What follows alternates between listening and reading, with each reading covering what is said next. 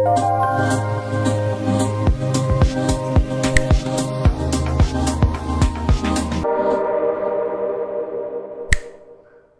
YouTube friends, welcome to RK Treasure Center. My name is Roy. Well, as you can see, I printed off another page and almost a half of items that sold. So it's seven items that sold overnight for $152.08, which is pretty good. And when I say sales that sold overnight, it really means anything from the time I got finished packing and going to the post office yesterday until this morning. So let's say noon yesterday till this morning. That's uh, my sales. Uh, but one thing I wanted to talk about real quickly was I recently put out a video called 15 Reasons You Should Sell on eBay and Have an eBay Store Subscription. Um, that just recently came out and I'll put a link down below if I remember. If you haven't watched it, uh, go back and watch it. It's actually a really good video. And in that video, I talk about how to make sales happen. If you're having slow sales or no sales, how to make sales happen. And one of the things, of course, I talked about was having an eBay store and why you should have an eBay store. About a month ago, I received a question, a viewer comment, and uh, the lady said that she sells on eBay just a few items, but is not looking to open an eBay store or, or make an eBay business. She just wants to sell a few items on eBay, and that's fine. Hey, you know what? If you do that, that's great. Uh, but in that video, I'll explain why you should have an eBay store, even if you're selling some items. Uh, but in there it said the other reason she doesn't won't do that is because she doesn't do videos and she doesn't have a lot of subscriber sales. Well, the reason I do YouTube and do videos is not because I'm looking for subscriber sales. I would say subscriber sales or, or viewer sales is probably uh, maybe 3% of my sales, if that much. So you're talking three sales out of 100 items um, which isn't very high. I don't do YouTube videos to create sales to or make more sales. That's not why I do YouTube videos. The reason I do YouTube videos is because I figure I have a lot of information. I have a lot of knowledge. I've been doing this on eBay for 10 years. I've been selling and reselling practically all my life, but since I started over 20 years ago selling and reselling items. Um, and I can to be honest with you, I probably could make a lot more money if I grew my inventory really big and huge and maybe did like, uh, if you ever watch Rally Roots, Ryan and Allie Roots, um, if you ever watch them, they do a lot of uh, wholesale items or a lot of liquidation items where they go and they pick up pallets and truckload full of the same type of items to sell and resell. And you can do that if you're willing to have a, a big business and a big location and make six, seven figures a year. A year. I mean, you know, you can do that. Um, if you're looking just to make extra income, but to be able to still have time with your family or just a part-time or just want to do this on the side, eBay is a great way to do it. I do it. I've been, like I said, I've been doing it for many, many years and it has helped provide and do good for my family. When I was working, I was doing it part-time. Now I'm not working. I'm doing it full-time. So it still provides and takes care of all of our basic needs. It takes care of all of our needs you know, we're able to go on vacations and take trips and which hopefully we're doing pretty soon. And we're able to do everything, pay our bills, do everything we need just by being able to sell on eBay. And what I sell is stuff that you can find at garage sales, estate sales, flea markets, trade shows, retail arbitrage uh, at retail stores.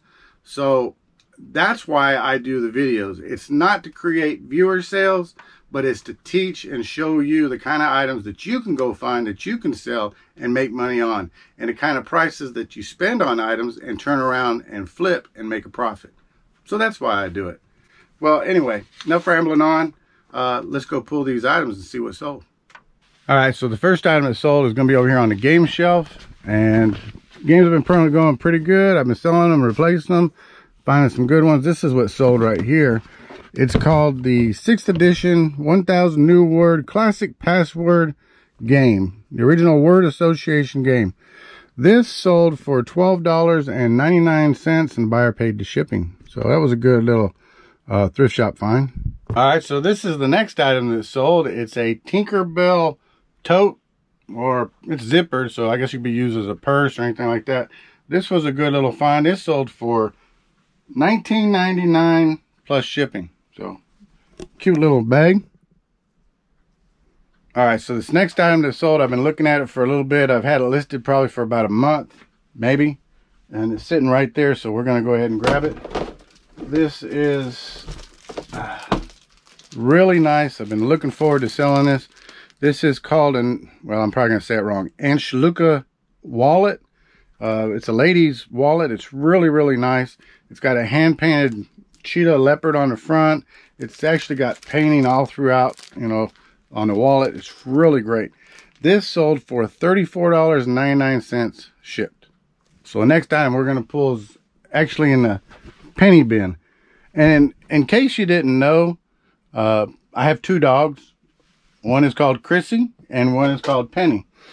Chrissy is actually short, short for Christmas because that's when we got her. There's a long story behind that. And I think we had in the video, but we're not going to talk about it right now. And then the other dog is Penny. So I'm going to pull down the penny bin and then we'll pull that item out. All right, so I went ahead and pulled this item out of that penny bin. This is what sold. It's a Zenith remote control. It's universal. It works with 325 different brands. So that's pretty good remote control. Well, this sold for $12.99 shipped. Now, I recently received a viewer comment, more than a question, I guess, but they said, why do I sell some things as free shipping and why do I sell some things as with a shipping price? Well, about six months ago, I did a video on free shipping versus uh, paid shipping or buyer pays. And that was actually a pretty good video. Uh, I really went in depth in that video and told a lot. But sometimes when I show the picture of this item, and I'll show it right here, I cut off where it says free shipping and it just shows the price. And I do that a lot of times really just to save room on the video so I can move around and the whole picture isn't just covering me up. But as for why do I sometimes charge free shipping and or I have free shipping and sometimes I charge shipping? Well, for instance, like on this remote control, um, it's free shipping, but really the shipping price is in the remote control. So when I was at the thrift shop, I don't know, a month and a half, two months ago, I picked up about 10 remote controls, universal remote controls. I paid 99 cents a piece for them. So that's, I paid about $10 for them. Well, this was sold for $12.99 shipped, free shipping. And it's going to cost me, depending on where it goes in the United States, it's lightweight, it's probably about three ounces. So it's only going to cost me about $3.80, $4.20 at the max. I paid 99 cents for it. So you're talking $5, roughly $5.20 total from the cost of shipping and the cost of the purchased item. I sold it for $12.99. So you take out the fees out of that $12.99 and I'm going to pocket about four or five, six, yeah, probably about five dollars and maybe some change. And that's quick calculation in my head. So you take that doesn't seem like very much for an item like that, but you take it versus the 10 items, and I've already sold most of them. So you take most of those remote controls, but you say after 10 of them, I made $5 a piece. That's $50. So to me, a $10 investment to make $50 is well worth it. And like I said, the shipping is actually washed into the price some items I sell that have shipping. You know, I showed, showed this a minute ago, and this one I charged the price plus the shipping. That's to be a comparative rate because most of everybody was selling this at a certain price. So I rounded about and sold this same item around the same price and charged the shipping. So that's why sometimes I do free shipping and sometimes I charge shipping. And that's why sometimes when I sell items like this and I show a picture like that, it only has the price and doesn't have shipping because it was free shipping. All right, so the next item I sold in the hat bin, and it's behind all this stuff here, which I haven't even gone to. And anyway, let's cover that up. But this is the next item that sold. It's actually a very worn, worn hat. Uh, let me close this back up real quick. Oh well, I'll get that in a little bit.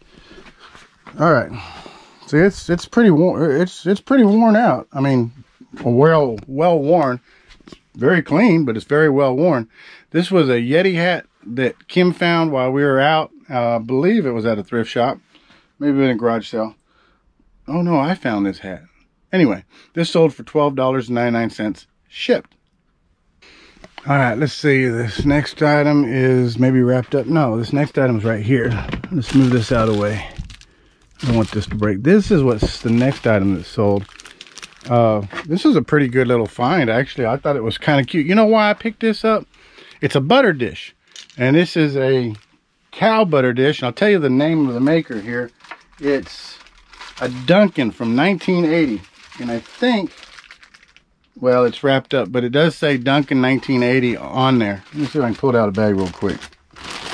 So, it's just like that. And I think, like I said, I think it says Duncan somewhere. I forget where it says it. I don't remember. Anyway, oh yeah. But I thought that was a totally cute little item. So this little cow butter dish from the 1980s has no chips or cracks. It's in beautiful condition. Just awesome.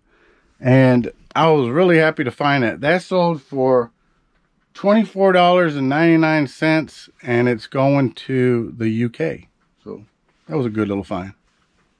All right, so the last little item, which isn't really a whole lot much, is actually sitting back here on this shelf. So let me see if I can move this stuff out of the way without it falling down. Ugh. All right, let me see if I can get this done. It's a cute little vase. Love that little vase.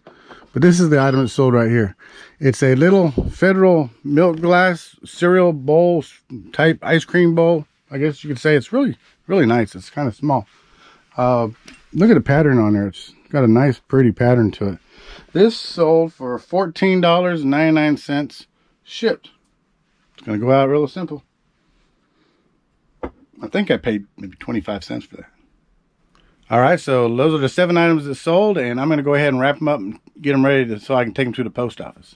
So it's almost midnight. I've been working late tonight. I didn't work the whole day. I took a break, but just couldn't sleep, didn't feel tired, so I decided to come out here and do a little bit of work.